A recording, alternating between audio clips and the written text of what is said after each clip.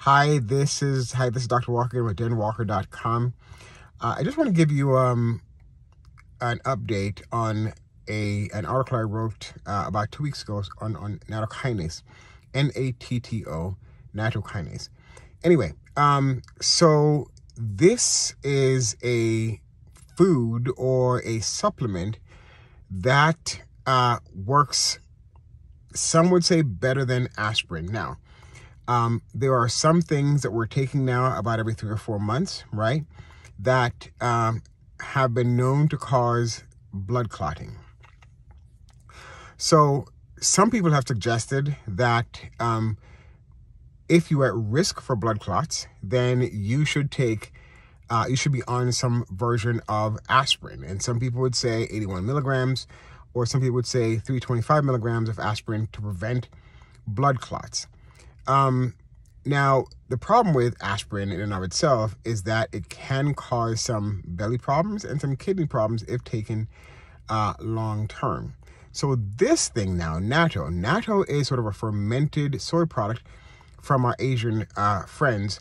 Uh, they eat this almost, in some places, eat this almost uh, several times a week um, um, as a part of their normal normal diet. Now, what's great about natto is the fact that it prevents, uh, to some degree, clot formation. Again, so if, if you're prone to having clots, then this may be something to add to your list. Now, natto is very high in K2, and K2 we talked about before. K2 is that thing that mobilizes calcium from your soft tissues and wherever else into the bones where it, it can help with, with treating and preventing things like osteoporosis. But um, importantly, again, the natto helps to decrease your risk of creating clots. The other important thing about this, which is the part I actually like a little bit better, is the fact that it can also help a little with breaking down clots. Not many things that you uh, eat will do that, and not many medications or supplements you will take will do that. So,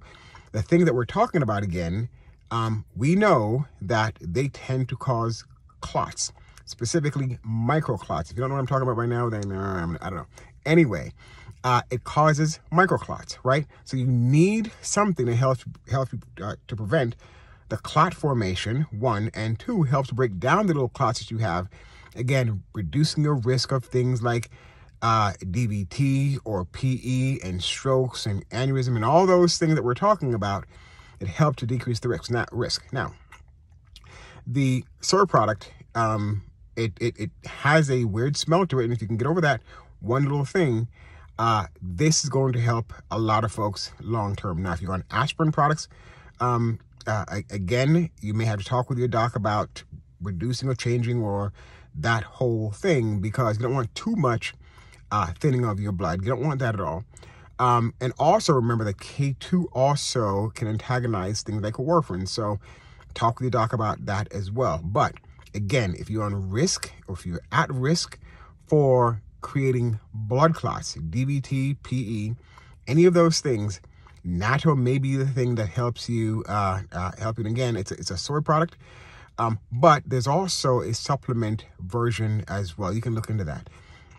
I, I, I, just sent a tweet out saying that a lot of folks won't necessarily know about this, but you may have to do a little reading yourself to figure out um, how to use the supplement, if you can use the supplement and so forth. But again, the two big things that I worry about uh, are um, number one, if you uh, are on things like warfarin or you're taking aspirin already, because it does some of that blood thinning um, for you, you may want to talk with your doctor about those two things specifically. But otherwise, look into that.